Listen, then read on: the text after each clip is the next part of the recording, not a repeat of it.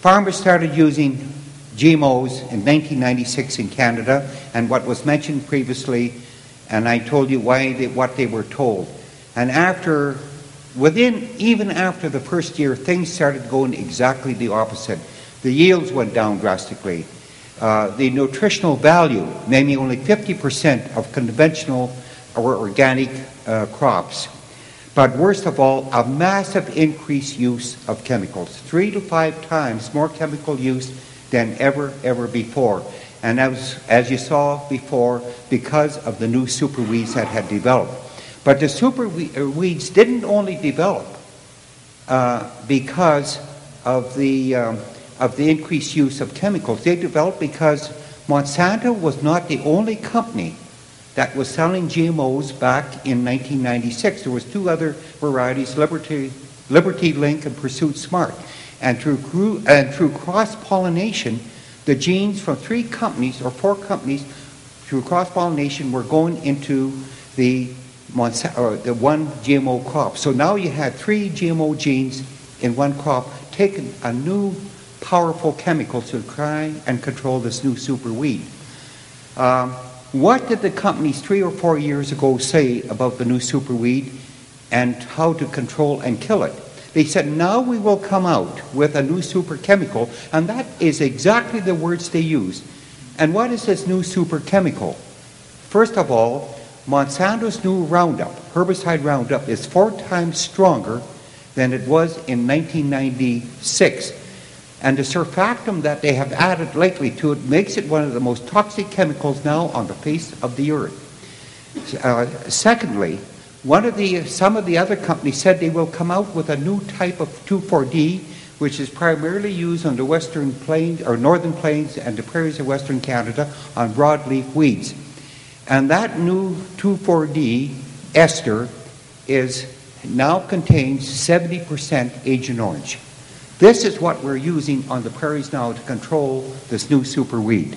So less chemi- uh, more chemicals now, more toxic chemicals, less yields, and less nutritious. This is what happened to us with the introduction of GMOs. We have seen no benefit from it.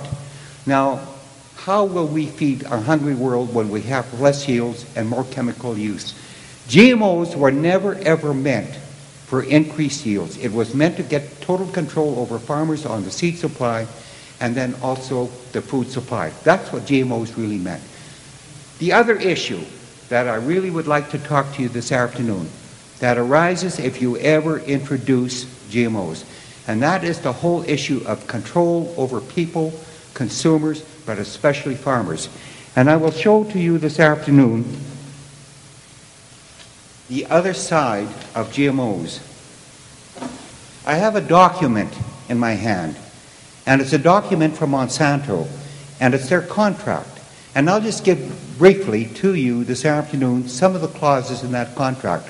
Number one, a farmer must only buy use Monsanto seeds. You only can use Monsanto's chemicals. You must pay Monsanto a $15 an acre license fee on each acre that you own each year.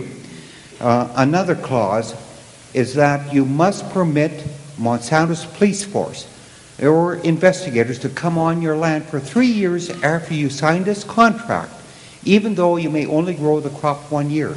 And Monsanto's gene police, as we call them on the prairies, can go on your land. They can go in your granary. They can get your tax records, your farming records, without your permission or with your permission. So that is in this contract.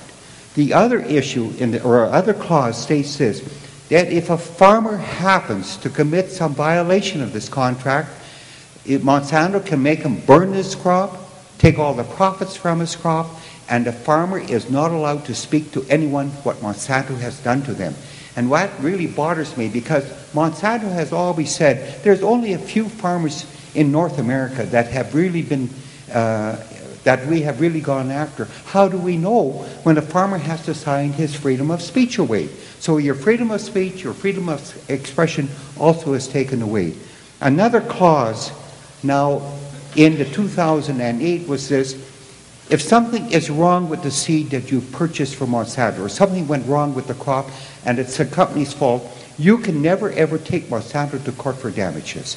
So you even give your right up on, uh, to take Monsanto to court. So those are some of the principal um, clauses in this contract. It does not matter now if you are contam- uh, if you sign this contract or not. If you are contaminated against your wishes, you fall under the same condition under patent law as if you signed a contract. So, and the other part of that now is that if a farmer opens up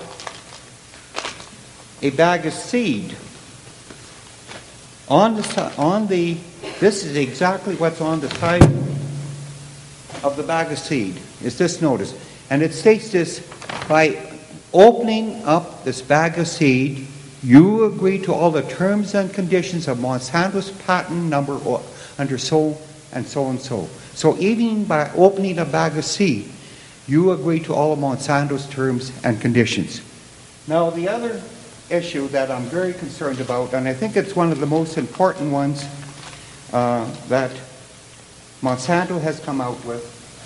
And as a former politician, I think this is the worst one that could ever have they could have brought out. I have a brochure from Monsanto, and in and and in the United States, it even advertised this on the radio. It states here, if you think your neighbor is growing Monsanto's GMOs without a license, you should report Monsanto, uh, you should report your neighbor to Monsanto. And if a farmer happens to do that to his neighbor for whatever reason, he gets a free gift from Monsanto. Normally, it's a free leather jacket in Western Canada or chemicals.